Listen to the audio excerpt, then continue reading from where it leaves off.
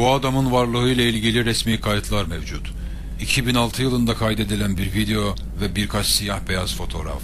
Geriye kalanlar ise dolaylı kanıtlar olup zamanla ilgili bütün algılarınızı alt üst edecek türdendir. Bu hikaye bana göre çok fazla karmaşık ve hatta kariyerime bile mal olabilir. Çünkü kendisi hastamdır. Fakat ben bugün bile onun gerçekten kim olduğunu anlayabilmiş değilim. Dış görünümüne bakılırsa 30'lu yaşlardaki bu genç adam Kiev'deki yurt alanlarından birinde görüldü. Bazı insanlar görsel olarak genelden hemen fark edilir. Bu adam da öyleydi. Kaybolmuş bir turist gibi görünüyordu.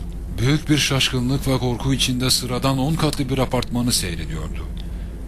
Yanımıza yaklaşarak adres sorduğu sırada Pesçanova Caddesi'ni sordu. Ben öyle bir cadde bilmiyordum.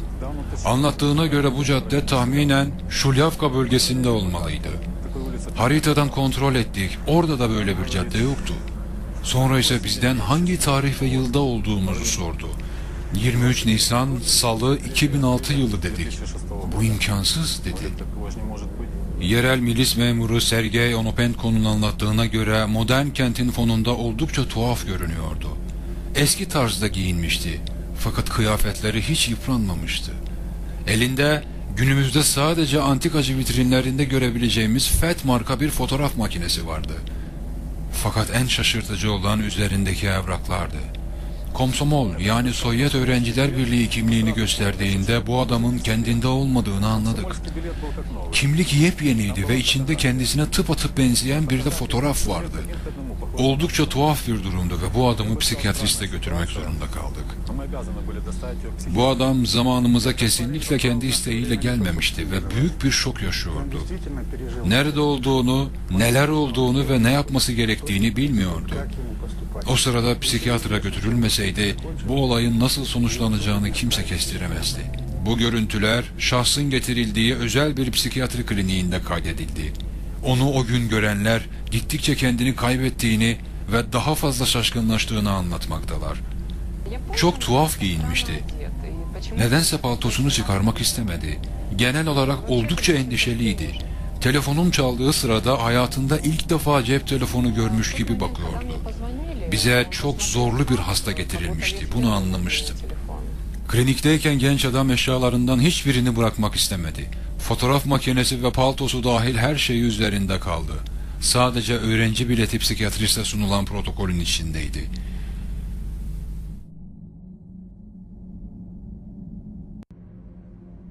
Buyurun genç adam, oturun lütfen.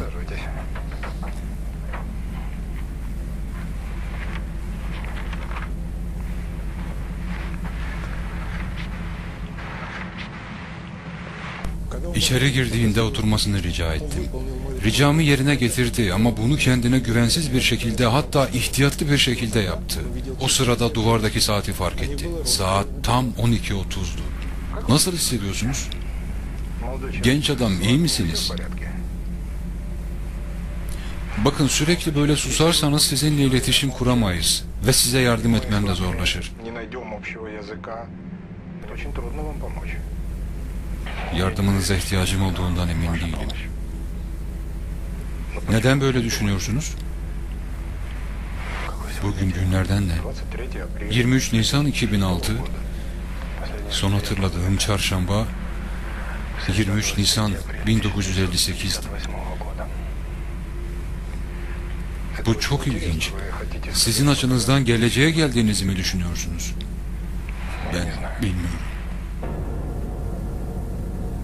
Prensipte zamanla ilgili oryantasyon bozukluğu belirtileri taşıyordu. Ya da bu bir tür subjektif bozukluktu. Bir kural olarak organizmada bu tür semptomlar koruma görevini yerine getiriyor. Gerçekleri reddederek kendi dünyalarına gömülmek özellikle ciddi stres veya travmalar yaşamış insanlarda sık görülen bir durumdur. Fakat bu genç adamda durum biraz farklıydı. Bu arada gelin tanışalım. Adım Sergey Ponomarenko. 17 Haziran 1932 Kiev doğumluyum. Cidden mi? En fazla 25-26 gösteriyorsunuz. 30'dan fazla değil. 25 yaşındayım. Hesaplayabilirsiniz. Peki kendinizi bizim zamanımızda bulduğunuz o anı hatırlıyor musunuz? Pazar günüydü. Sadece çıkıp dolaşmak istiyorum. Fotoğraf makinemi alıp dışarı çıktığımda gökyüzünde tuhaf bir obje gördüm. Bir çana benziyordu. Ama her neyse başka bir şeydi. Uçuyordu ve garip yörüngeler çiziyordu. Gördüğüm şeyi anlatabilmem çok zor. Eğer filmi yıkarsanız her şey ortaya çıkar. Zaman uyumu ile ilgili psikotik bir bozukluğa benziyordu. Ama daha kesin teşhis koymak için doğal olarak bir süre daha gözetim altında tutulması şarttı. Bu yüzden hastanede gözetim altında kalmasını teklif ettim. Tam o sırada duvardaki saate nasıl odaklandığını fark ettim. Saatinizin kadranları durmuş. Bana saati söyler misiniz? Zaman durmuştu. Duvar saati tam 12.30'u gösteriyordu. Kolundaki saat de aynı saati gösteriyordu.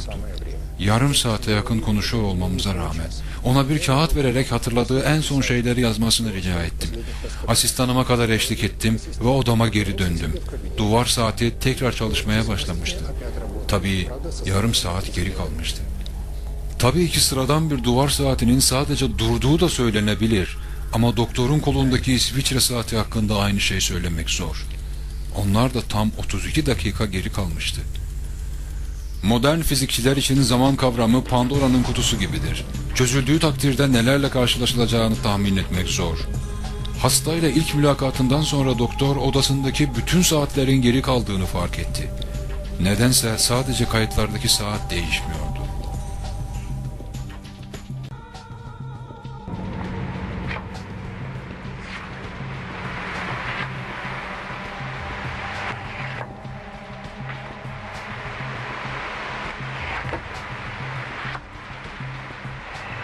Doktor lütfen söyleyin bende bir tuhaflık mı var? Biliyor musun Sergey? Ben seni bir hasta olarak görmüyorum. Ama bir şeyleri açıklığa kavuşturmam gerekiyor. Bana yardımcı olacağınızı umuyorum. Burada yabancıyım ben. Evime dönmek istiyorum. Anlıyor musunuz? Kendi zamanıma. Sergey bak burada sizin fotoğraf makinenizdeki filmlerden basılmış kareler var. Bu kare hepsinden daha fazla ilgimi çekti. Bakın lütfen. Nihayet size yalan söylemediğimden emin oldunuz mu? Ben hala bunun nasıl bir şey olduğunu, bana neler olduğunu anlayamıyorum. Fotoğrafı çekmek için deklanşöre bastığım anda kendimi bambaşka bir dünyada buldum. Bunlar Ponomarenko'nun klinikte kaydedilen son sözleri oldu. Daha sonra güvenlik kameraları onun doktorun odasından yine doktorun hediye ettiği fotoğraf makinesiyle beraber koridoru geçerek kendi odasına geçişini kaydetti. O çıktıktan sonra yine saatlere baktım. Saatler onun benim odamda kaldığı süre boyunca durmuştu. Bugüne kadar hiçbir saatçi bunun nedenini açıklayamadı. Bir süre sonra ise Sergey'in çok iyi korunan bir hastaneden, benim kliniğimden tamamen kapalı bir binadan kaybolduğunu öğrendim. Bu olayı anlatmak için tuhaf kelimesi yetersiz kalıyor. Sergey Ponomarenko tüm pencerelerin kapalı olduğu, tek çıkış kapısının ise sürekli gözlem altında tutulduğu binadan kayboldu. Tabii ki teorik olarak kaçmayı başardığını varsayabiliriz. Ama nasıl? Ve daha da önemlisi neden?